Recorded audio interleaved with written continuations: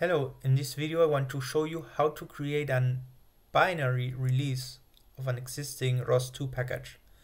So binary releases are packages that you can install on your local computer by executing um, sudo apt install uh, using the command line or sudo apt dash get install and they will download and um, you can start using them right away uh, without having to compile your workspace.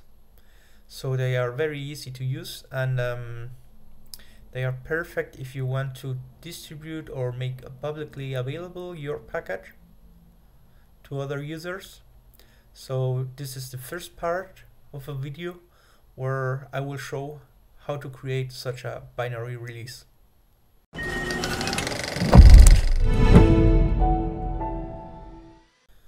My name is Roberto from the Construct. Um, I will show you how to create a binary release of a package using the platform from the Construct. Um, go to theconstructsim.com um, and enter with your to your account or create an account if you don't have one and um, it's free so here you can create a rosject. A rosject is a project that contains um, ROS files just as um, a local environment in the cloud. I just um, started this rosject so it will load my files and I will share these files uh, with you. Um, have a look at the video description for a link to this project. Now that it has loaded,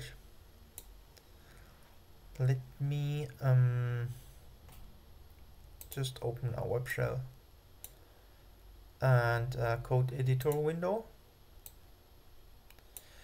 So why why would we like to have a binary release? Well, binary release are ways to install packages that are easier to use than uh, cloning our repository from GitHub and having to build the workspace. So you just install them when a package is um, as a binary release, you install them using package managers such as apt or apt-get. So um, I am following the documentation, the official ROS2 documentation, which I have linked here. They have a guide on how to release a, a package. And I'm also assuming that um, you have an existing ROS2 package, so you already did that part of programming um, our package or a node that has some kind of functionality and now you make, want to make it publicly available um, so and, and distribute it um, use, over using these package managers. And I'm also assuming that you have um, that you know um, git some git that you can do some commits and push pull to a remote such as github. Uh, I will be using github here and um, that you that you also have a GitHub account. So let's um, continue here. So the first step is to create a release repository.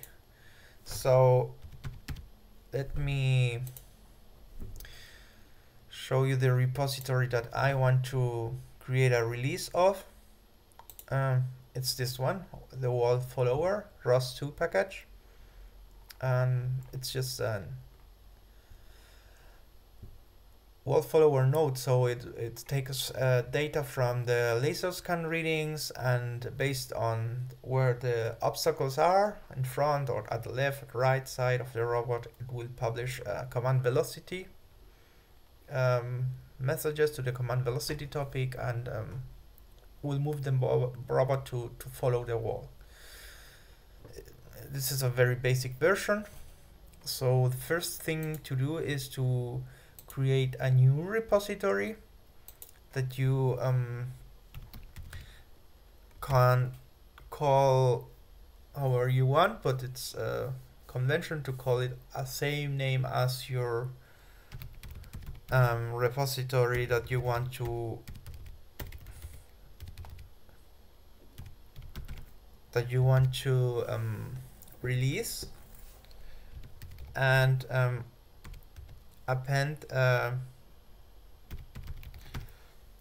uh, dash release at the end. So my package is wall underscore follower underscore ROS2. You or you just see um, I just showed it, and this uh, new um, repository is, uh, has a dash release at the end of it. So whatever description.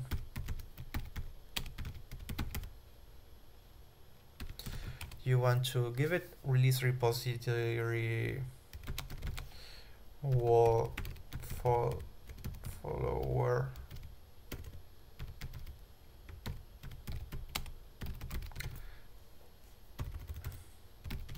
Okay so the rest um, you can leave it as is a public repository. We don't want to add a readme and or a .gitignore file. Let's just create this repository. All right so the first step check. We created a release repository. Why do we need a release repository? Um, because during the release process um, this process will create some output some files and they need to be stored somewhere. So um, it has to be a separate repository from the source code. So that's why you basically create a repository with the same name of the source code repository and append a dash release to it. That's all we have to do at this moment. So the next step is to create a release team.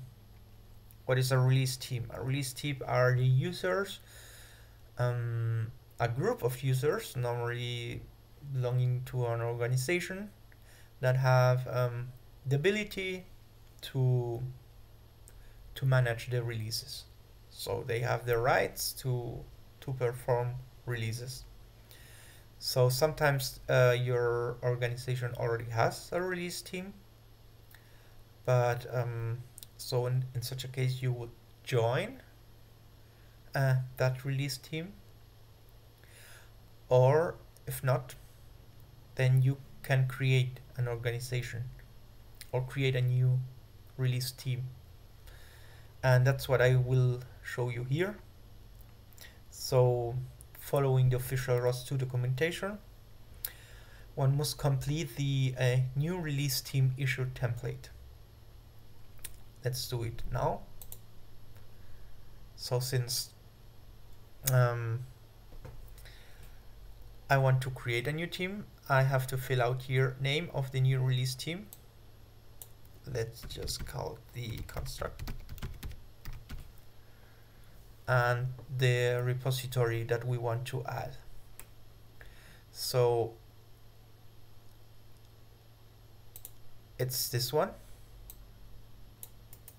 I mean, this is the release repository. So we,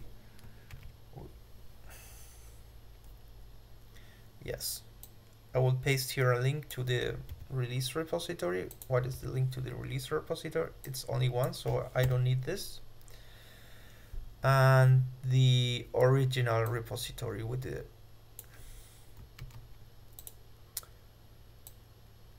with the with the package with the source code. So I guess I will do it like this.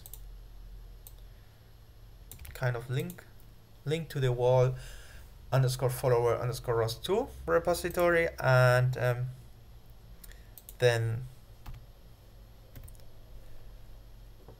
there is an existing release repository which should be imported and a link to it. Like this. So team members just uh, let's in this case it's me. So you use your um, GitHub name, GitHub user name, and um, that's it. I will submit this issue and let's see how it goes. Um, let's go back here. So next thing we need is to install the tools that we require for for the release. Um, we need to install Bloom and we need to install um, Python 3-Catkin package and we do it from a um, really um, binary file using sudo apt install.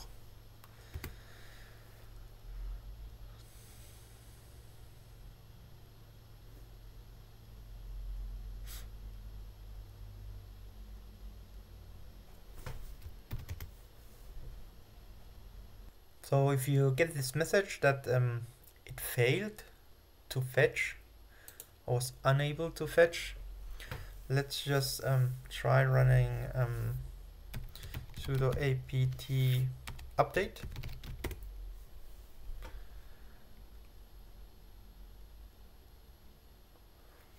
And now install the same command.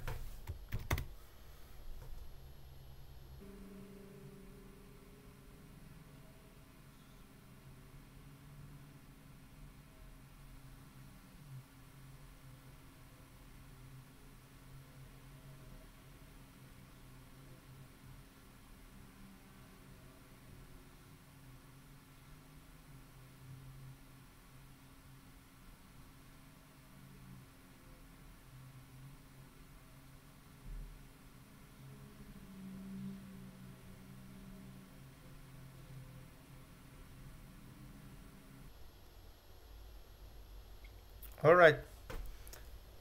They I could it worked. So it took a time but it worked. So great.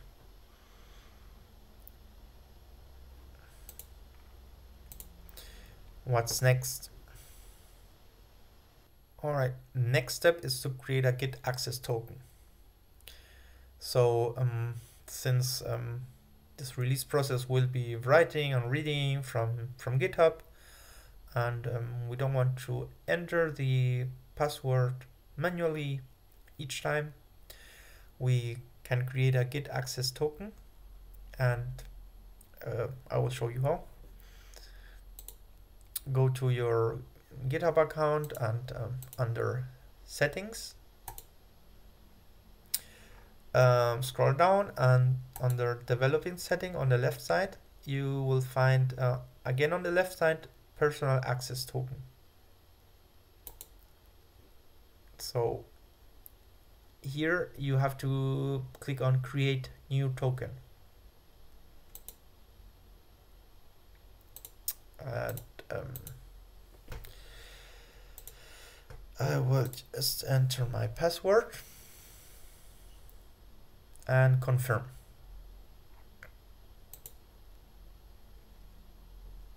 It will ask um, for a name. So just give it Bloom and um, it's um, so that you can identify no expiration and um, let me just check what are the rights so I have to select public repo and uh, workflow. Workflow and repo. These two need to be checked.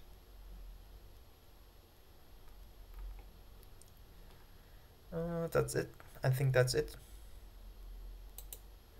So here you um, will have a, um, green uh, uh, green background over the green background you will have your token. So it's it's not shown here but um, you just copy it and um, keep it on a safe place because it's it's like a, it's like a password to your github account. Great, let's continue. So mm, now that we have our um, GitHub token, here inside, um, you're inside your home directory, create a directory named .config. And um, inside it, create a file that you will name Bloom. That's it. And I will be using the um, code editor to place the content that I will need inside that file.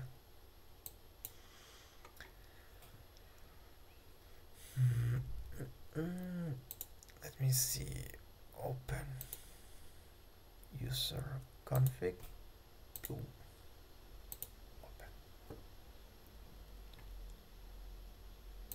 So it has to have a specific uh, format like this.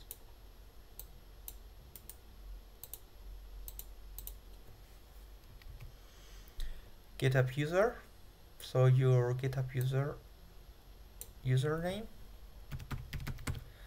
and um, the token will be the token that you that we just generated uh, on the GitHub page this long string alphanumeric string so you paste it here and um, you save your file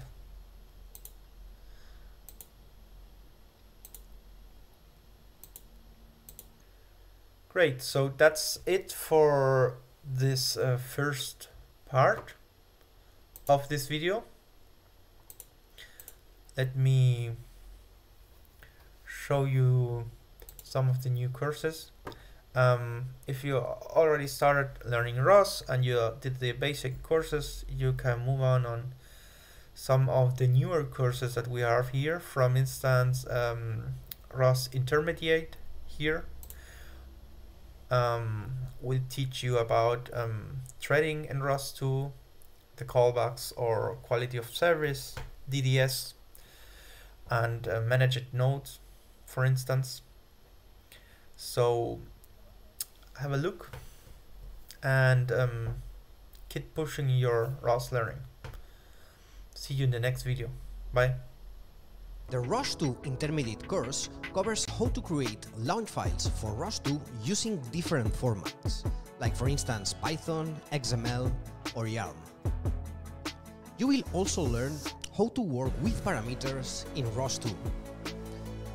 The course also covers how to manage threading in ROS 2 using executors, or how to handle callbacks using the callback groups.